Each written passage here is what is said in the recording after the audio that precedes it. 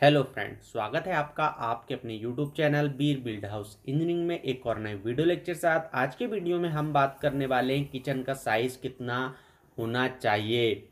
सबसे पहले आप ये समझ लीजिए, एक मकान में किचन बहुत ज़्यादा इम्पोर्टेंट है और अगर जो लोग वास्तु मानते हैं तो इसे हम आग्नेय कोण में ही किचन देते हैं। जो लोग वास्तु नहीं मानते हैं तो वो अपने सुविधा के अनुसार कहीं भी दे सकते हैं या फिर आपकी जो प्लानिंग जहाँ पर सुटेबल हो। किचन जो है आपका एल सेप का हो सकता है यू सेप का हो सकता है आइसलैंड जो कि ज़्यादा यूज़ होते हैं। इसके अलावा भी और बहुत सारे टाइप्स होते हैं। बट इनमें एल सेप यू सेप या फिर आइसलैंड बहुत जगह यूज़ करते हैं।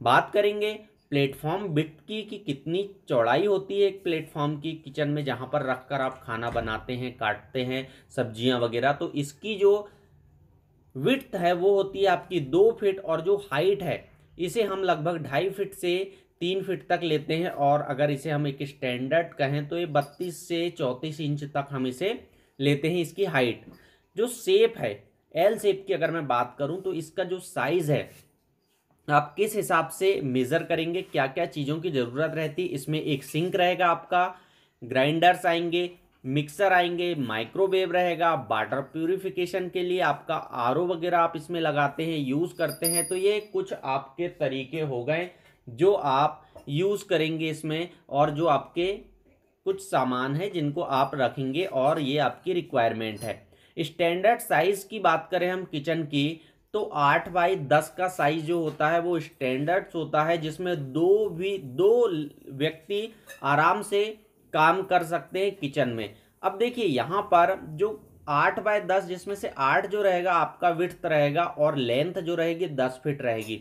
दो फिट जो है आपका, आप इसमें देखेंगे कि मैंने बताया विथ हो गई, उसके बाद आपको छः फिट फ्री मिल जाएगा, जिसमें आप दो व्यक्ति आसानी से वहाँ पर किचन में वर्क कर सकते हैं। इस हिसाब से आपका साइज़ आठ बाय दस का एक अच्छा और परफेक्ट साइज़ माना जाएगा। इसे आप आठ बाय बारह का बना सकते हैं, अगर आपका प्लॉट साइज़ बड़ा है तो। आठ बाय बारह में आपका छः फिट आपको फ्री मिलेगा और बारह जो है आपका लेंथ में आ जाएगा। दस बाई बारह साइज़ का भी इसे बनाते हैं किचन को।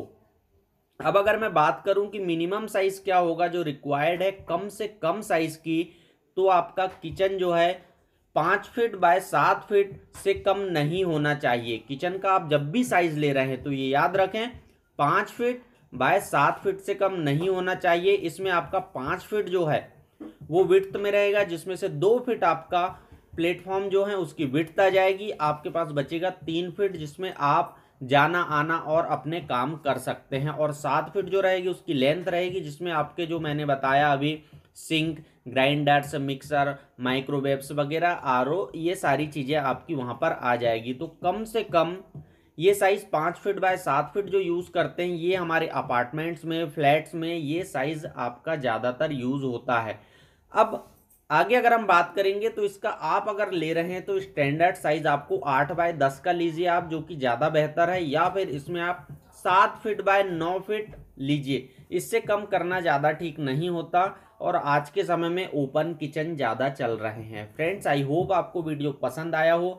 वीडियो अच्छा लगा तो लाइक कीजिए, कोई डाउट है कमेंट्स कीजिए, और चैनल पर नए हैं तो सब्सक्राइब करके बेल आइकन प्रेस करना ना भूलें। मिलते नेक्स्ट वीडियो में किसी अन्य टॉपिक के साथ, तब तक के लिए थैंक यू।